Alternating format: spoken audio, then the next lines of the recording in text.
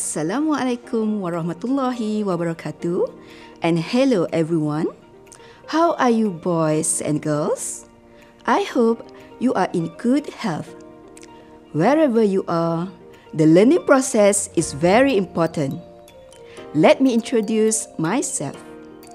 I'm Azilawati binti Abdul Rahim from SK Desa Aman Sungai Buloh, Selangor. You can call me Cikgu Azila. With me today is Puan Katie Lee from SK Pendidikan Khas Jalan Peel who is our sign language interpreter. Today, we are going to learn about science room rules for year 1. Before we start, please be ready with your book and stationery. Boys and girls, we have to do two things first. First, you must make sure you are listening carefully. Second, you must make sure you have your eyes wide open so you can see everything. Alright? Before we get started, let's take a look at the learning objectives for our lesson today. At the end of the lesson, you should adhere to science room rules. Okay, let's look at the picture. Are you familiar with this place in your school? Yes, it is the science room. A science room is an exciting place full of fun apparatus to conduct experiments and interesting lessons. However, there are rules that you have to adhere to. What are the pupils doing? They are carrying out an experiment in groups. One of them is doing the activity, and the others are collecting data and helping each other and the teacher looks happy because the learning process is happening smoothly. This can happen if the pupils follow the science room rules. So, what the science room rules, boys and girls? Let me tell you what they are. Number one, you have to line up before entering the science room. Lining up makes it easier for classes of pupils to pass one another in the hallway. For one thing, lining up helps to keep pupils from talking. Number two, ask for the teacher's permission before entering the science room. You cannot enter the science room if there is no teacher waiting for you inside. Let's take a look at the next rule. Number three, you are not allowed to play and run in the science room. This is to avoid any unwanted incidents. Number four, you must clean and tidy up the science room before leaving. This is important to ensure a conducive learning environment. Number five, do not eat and drink in the science room. This is to prevent you from getting food poisoning due to exposure to chemicals in the science room. Okay, now you have learned five science room rules. Let's understand why we must obey the rules. Look at this picture. What would happen if you obey the science room rules? Yes, the science room would be cleaner and tidier.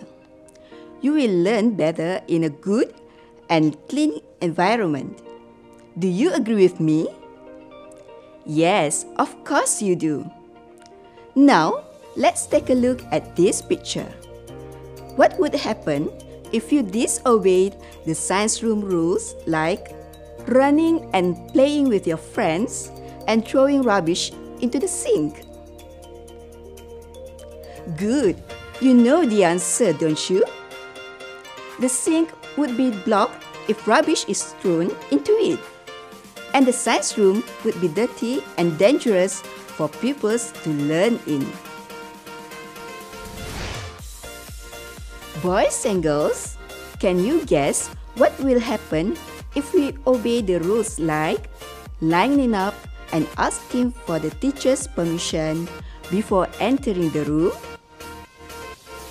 Yes, learning can be carried out effectively. If you disobey the rules like playing and running in the science room, you could get into an accident and injure yourself. When you disobey the science room rules, learning cannot be carried out smoothly. Now, I believe that you have listened well to me. Are you ready for a quiz? Okay, good. I want you to look at the video after this and tell me whether the pupils in the picture are obeying the science room rules or not. Look at the first picture. The boys are running in the science room. Are they obeying the rules? Yes or no? Good.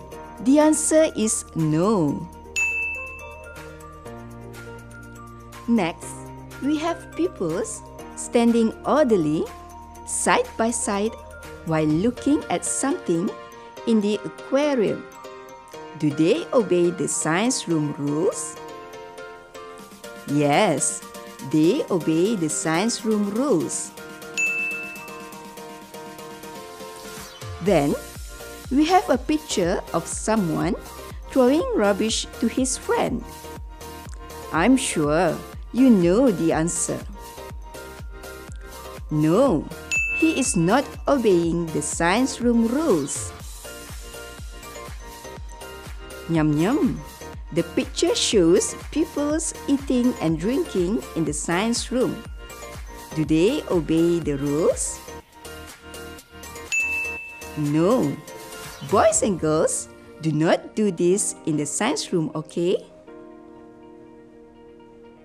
Okay, next, we have a picture of pupils washing and cleaning the science apparatus.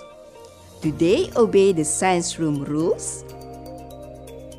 The answer is yes.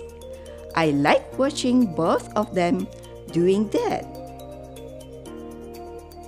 Hmm, looks like a boy is arranging the stools and a girl is sweeping the floor.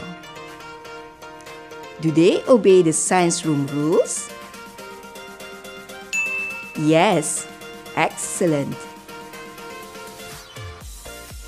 Now, you can see pupils lining up before entering the science room. The boys line up on the left and the girls on the right. Do they obey the science room rules? Yes, surely the answer is yes. Oops! Next, we have a picture of pupils talking to each other and not standing in line outside the science room? You can answer this correctly. Do they obey the rules? The answer is no. They have disobeyed the rules. The last picture shows some science apparatus that have been left cluttered on the table, and it looks like the pupils want to leave. The answer is no. They have disobeyed the rules. Before we end our lesson, let us recall what we have learned today. Do you still remember the science room rules? Number 1. Line up before entering the science room. Number 2. Ask the teacher's permission before entering the science room. Number 3. Clean and tidy up the science room before leaving. Number 4. Playing and running in the science room are prohibited. And number 5. Eating and drinking in the science room are prohibited. Well, boys and girls, we have come to the end of our lesson for today. I hope you will use what you have learned today in your daily life. Always obey the science room rules and be good pupils. Until we meet again, stay safe everyone. Assalamualaikum. Bye.